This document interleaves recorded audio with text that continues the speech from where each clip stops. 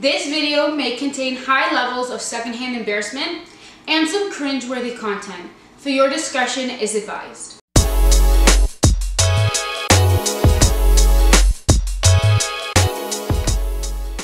Hey guys, welcome back to my channel. For those of you who are new here, my name is Tashi. Thanks for clicking on this video. And don't forget, if you enjoy the content, hit that little subscribe button. That way you get notified every single time I post a new video and you become a part of the family. For today, we're gonna be taking a look at some old pictures. Some from decades ago, some from five years ago, and some as recent as three years ago. Guys, trigger warning, you're gonna feel high levels of secondhand embarrassment and you're gonna get some cringe pictures for those of you who love looking at cringe pictures. So watch till the end because it just gets better and better with the pictures I'm about to show you. For the first picture, this is probably when I was six years old to say, yeah, maybe about six years old, older, I don't know. I was a thick kid. I was so close to these birds, these loons, ducks, whatever you want to call them. I don't know. I'm pretty sure they're loons. Please don't come at me, guys. I'm not a bird expert, but whoever is, leave it in the comment section below. Guys, if you don't know me on a personal level, I am scared of everything and anything. Things that move, the dark, food, scary movies, people, I'm scared of everything. The fact that I'm so close to these birds, and it's not even like one or two birds, it's their whole family, their cousins, they fully have a bird family reunion, and I'm in the middle of that family reunion. Your girl doesn't even look phased. And the fact that my mom's just looking at me, staring at afar, is super cute. But, no. I was a brave kid back then. I don't know how things changed, but yeah. I was wearing a cute visor. Can't like, I'm not hating about that. But guys, that visor makes my forehead look like a basketball. So yeah.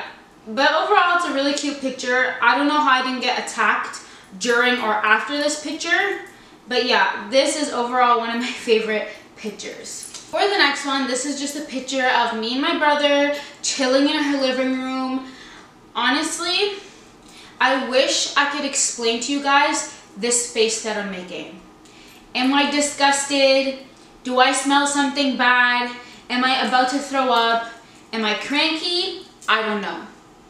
I don't know what face that was. I I think I just need Jesus in this. Yep, I, I fully just need Jesus in this picture. Um, my brother looks super cute, not gonna lie. You can tell he's a normal child in this picture. The oldest usually tends to have some devilish um, attitudes and blood in them. And throwback, whoever remembers these little doilies, that little white doily that your parents would put everywhere and anywhere to make everything and anything look bougie. They put it on tables, couches, on everything. Guys, I remember these doilies everywhere. We got fancy as the years went on. Instead of them being made out of like, I don't know what they're made out of. Fabric, we got fancier and they were made out of lace and stuff, but throwback to those guys, whoever remembers those little crochet doilies. And um, most of you probably remember your grandparents having these as well, but yeah, I remember my parents used to love these little doilies. This next picture. Guys, there's so many things wrong in this picture. There are so many things wrong in this picture. For starters, my hair. I do apologize. This is going to scar some of you. Mine and my brother's hair were pretty close in style, length, everything. Maybe if I turned around from the back and my brother turned around from the back, you wouldn't be able to tell a difference. Hello? Mom? Who made you think this was a good idea? Why'd you gotta do me dirty like that? And the funny thing is about this picture, when I asked my mom, she was so calm, so collected, like it was like a normal thing. Like, mom, like, why did you cut my hair like a boy? Like, me and my brother have the same hairstyle. Like, what? why was that a thing and why did you think it was a good idea? Oh, um, it was getting hotter and your hair is like super curly. It used to get really tangly and you hated when I brushed it. So I thought this was the best decision.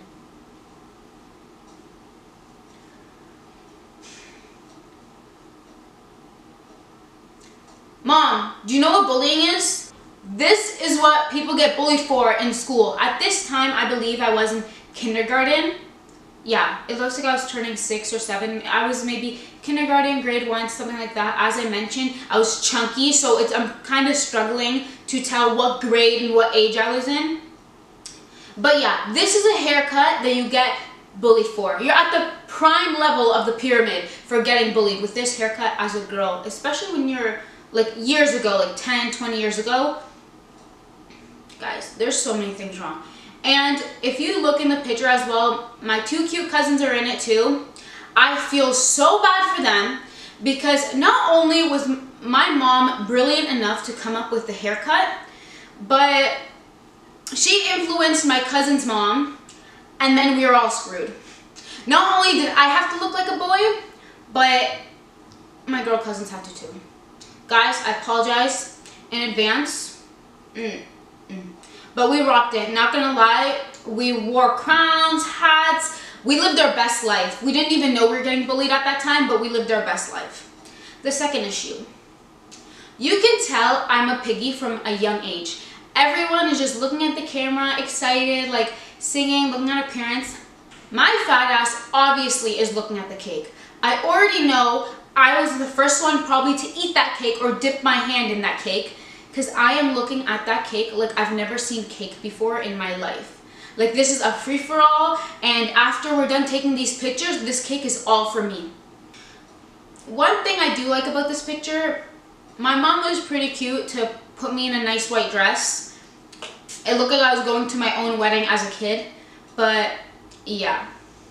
And throwback to combined birthdays, guys, those were the best. For the next picture, for those of you who had communions when you were younger and you remember the whole thing of getting dressed up in a white dress and doing your hair and whatever.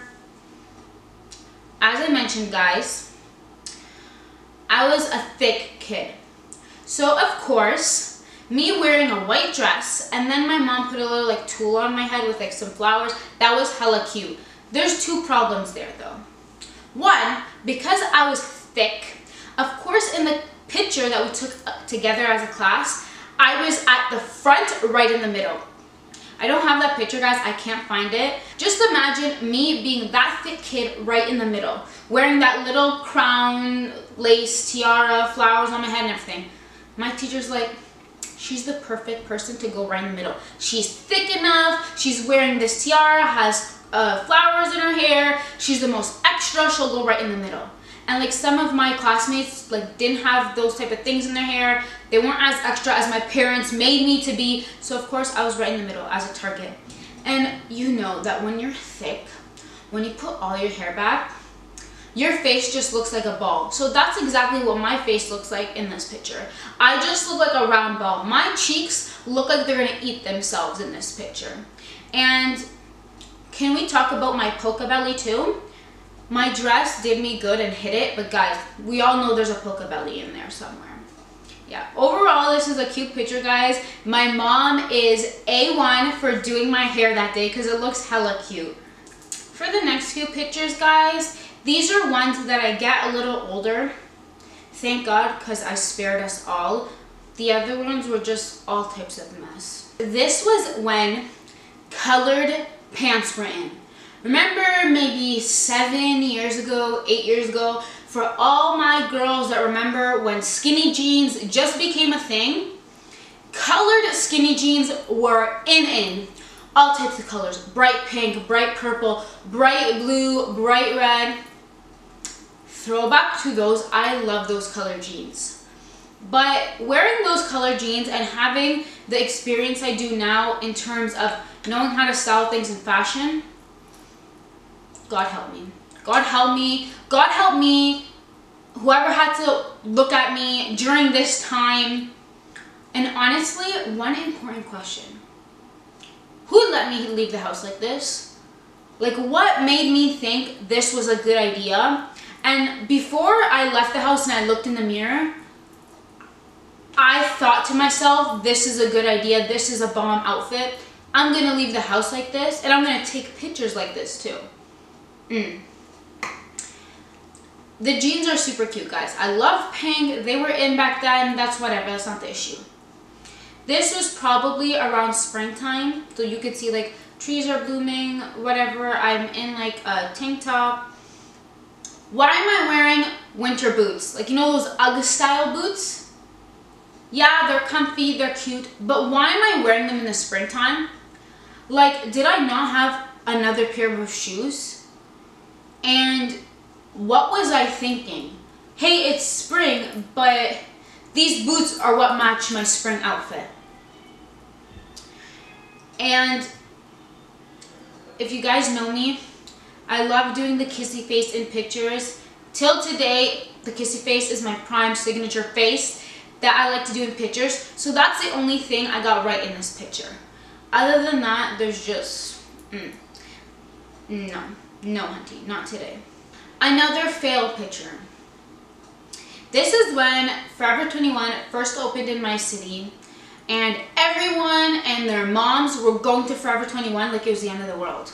Going there, taking pictures in the change room, taking pictures entering, buying everything. I have those UGG style boots again. The only difference is, guys, I remember during this time it was winter, so it's okay. But Throwback to the blackberries, guys. I loved blackberries. I was a blackberry fanatic, and I, yeah, I used that thing till it was at its last limb. One, what am I doing with my hand there? Like, it's not, what is it for? Why is it there? And another thing, guys, I love mirror pictures, but you get to a certain age where you don't take mirror pictures in stores anymore. Like at that time, you're like, oh, like yes, I'm at the store. Let me take a picture in the change room, this, that. But then once you get older, you're like, why am I taking a picture in the change room? Why am I wasting my time in this change room? Everyone knows it's in a change room. That's what I think when I look back at this picture. And yeah, my tongue's out. No, put that back in, Hunty. Don't stick out your tongue. I, God help me for thinking that was a cute picture back then. The sad thing is, I remember posting this on social media too, thinking that I was popping, I was top level, I'm like, oh my gosh, I look so cute, this is such a cute pose, no one's gonna know what change room this is in. Throw back to this picture, guys, so cringe. For the next picture, guys, get yourself a snack, get yourself water. This is next level. I can't. I can't with this. And the sad thing is this is one of my recent ones too. So the embarrassment level is at a high point. For starters, my hair is a little cute. Yes, I like my hair like that. It's naturally curly, whatever. The sunglasses are the size of my face. The sunglasses take up half of my face and the focal point of this face. Anyone who looks at this picture will fully look at the sunglasses first, minus everything else that's messed up about this picture. Guys, I love big sunglasses, but my face doesn't look good with big sunglasses, if that makes sense. Like, they don't complement me very well because, yeah, you could clearly tell in this picture. I look like a fly. Like, you know those flies that have the big eyes? Yeah, that's exactly what I can think of. Then, I'm wearing this little bow lace thing. Okay, whatever. That is super cute. That's more dressy top. Then I'm wearing, like, really, really short shorts throwback to when I had that confidence level to wear those shorts. But yeah, no, there are so many things wrong in this picture. And that pink li lipstick, girl, you're too white for that shade of lipstick. Take it off. Take it off. If I had like olive tone skin, guys, which I should, um, this would look fine. But because I'm so pale, the picture looks dark, but guys, in reality, I'm pale. This lipstick is not okay. Like it's just, mm -mm, no, not today. For those of you who know me on a personal level, you know that every year I have multiple weddings, multiple parties, engagements, all that type of fun stuff to go to. And every year, especially growing up, now it's like whatever, I just do as I please. But every single year when I was a bit younger, I would make it my prime goal to get a pop-in pop-in, what I thought was pop-in, picture of me before going to a wedding. Whether that be in the most ghetto spot, the most random spot, and the dumbest spot I could think of to take a picture. I just had that mission. My mission of the year when going to all these events was to take a good picture in a nice dress, dressed up, whatever. At the time, I thought this was cute. I remember I was so proud of this picture. This was one of my favorite pictures I posted on Facebook, and I had this up for years because, guys, if um, before I was very, very chunky. Like I was like overweight chunky.